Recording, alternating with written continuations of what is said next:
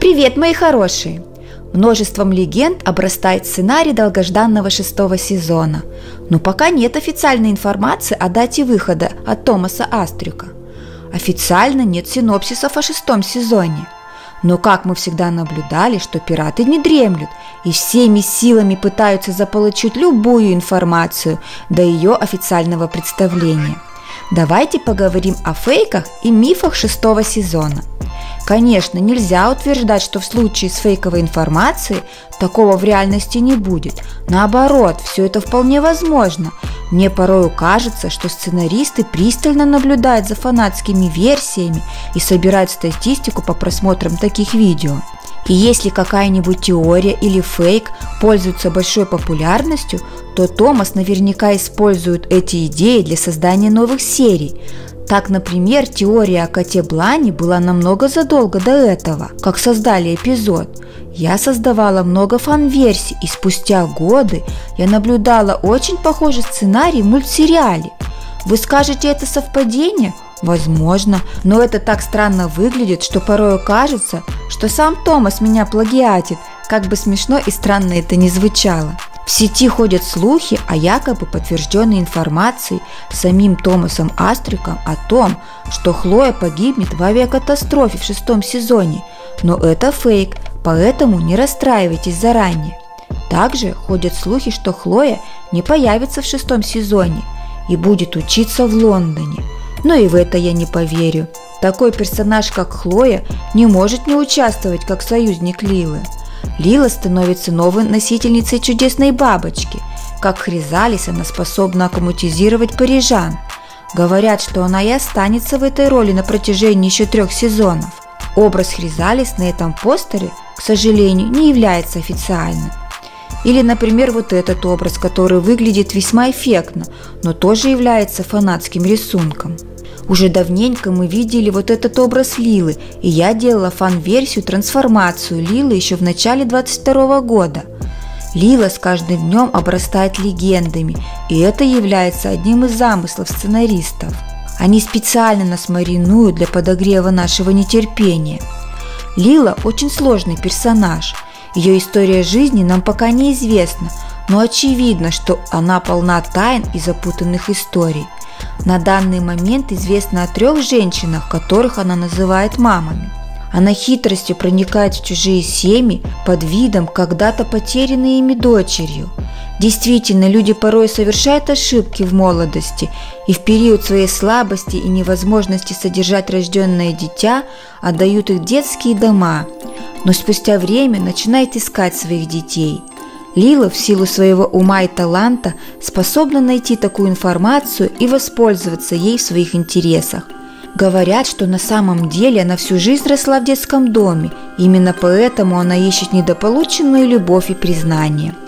Возможно, это и есть ее желание изменить свою жизнь и жить в полноценной семье с рождения. Мне понравилась фанатская версия, недавно появившаяся на канале Грефи – созданный короткий эпизод о том, как Эдриан становится новым бражником из-за того, что его отец был сильно ранен в битве с Леди Баг.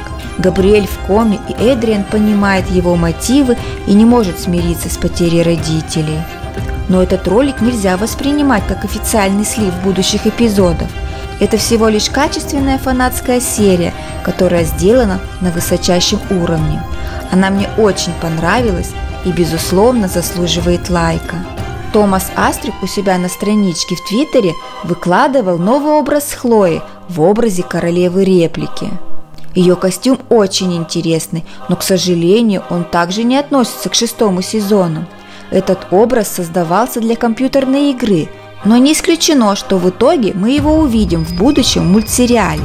Себастьян Тибода, один из сценаристов сериала, опубликовал первый постер-тизер к шестому сезону с надписью «Скоро». Этот постер, наверное, пока единственный из подтвержденных постеров, к сожалению, не сильно информативный.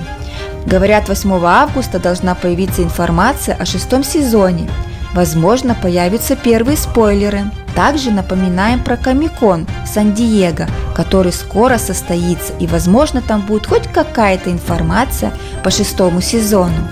Очевидно, если уже объявили о продолжении мультсериала, то в скором времени появится больше информации и даже первый трейлер.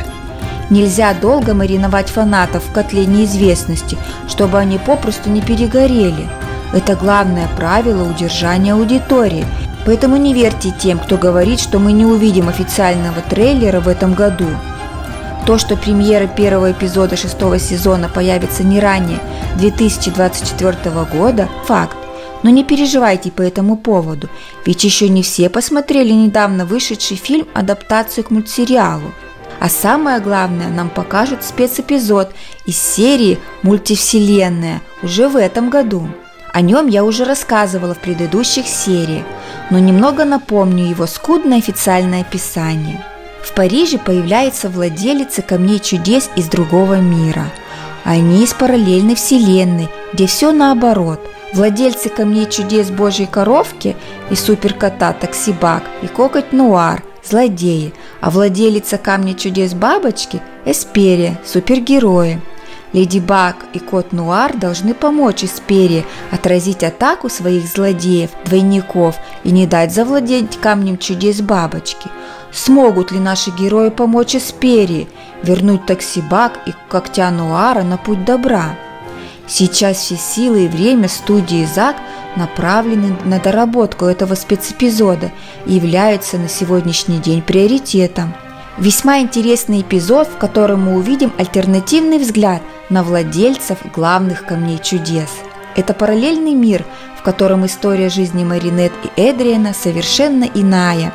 По каким-то причинам Маринет и Эдриан перешли на сторону зла – я с нетерпением жду выход этого спецэпизода и обязательно дам вам знать, если появится больше информации о дате выхода и деталях сценария. Конечно, многие из вас не любят спойлеры до премьеры, но этого нельзя избежать и более того могут вызвать у вас дополнительный интерес.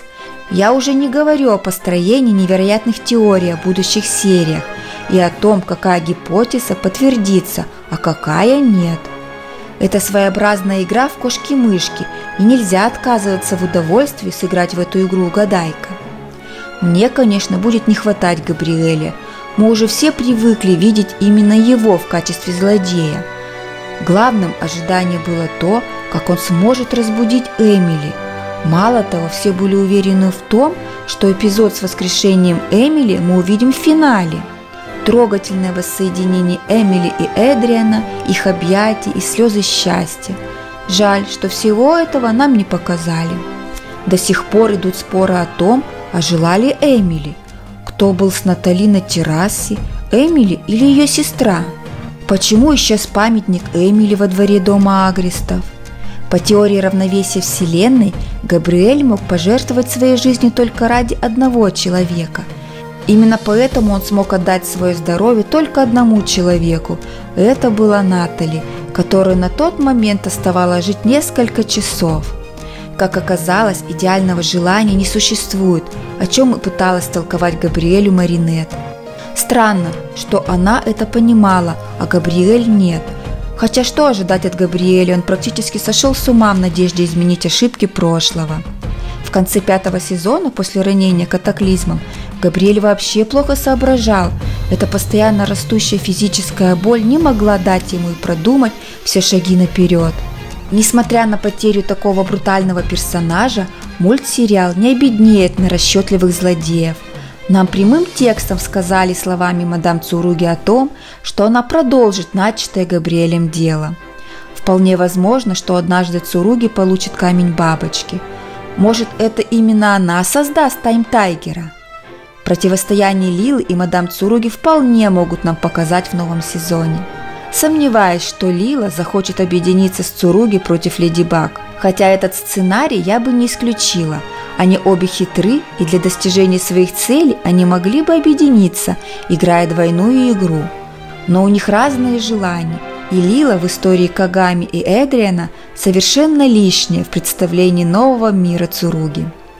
Лила, безусловно, сложный персонаж, и пока не совсем понятно, для чего нам показали тот факт, что она параллельно учится в другой школе. Наверное, для того, чтобы показать, что двойная жизнь Лилы – это ее обычный образ жизни. Хоть Маринет ранее разоблачала ее во лжи, это не значит, что она сможет делать это в будущем, тем более с новым обретением сверхспособности Лилы. У Лилы три мамы, а значит три имени и даже три дома.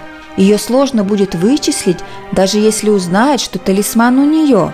Она как паук, который плетет свои сети в разных углах для того, чтобы желаемая добыча попала с ней в лапы. Очевидно, что первым ее желанием будет разлучить Маринет и Эдриана, и не исключено, что у нее это получится на какой-то промежуток времени. Маринет у нее главный враг, а значит и Леди Баг в опасности. Так и неизвестно, пока знает она, кто скрывается под маской Леди Баг или нет. Но даже если она и не знает, то я уверена, что рано или поздно секрет личности Леди Баг будет для нее раскрыт. Лила уверена в своем превосходстве перед Маринет, и это, наверное, главная ее ошибка. Она недооценивает обычную девочку-пекаря.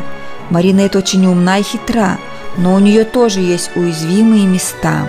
Нельзя забывать о Алекс, которая не допустит трагедии и сможет помочь Леди Баг в случае глобальных непоправимых ошибок. А у меня на сегодня все. Ждем новой информации. А пока подписывайтесь на канал – Ставьте лайк и жмите на колокольчик. До свидания, мои хорошие. Пока-пока.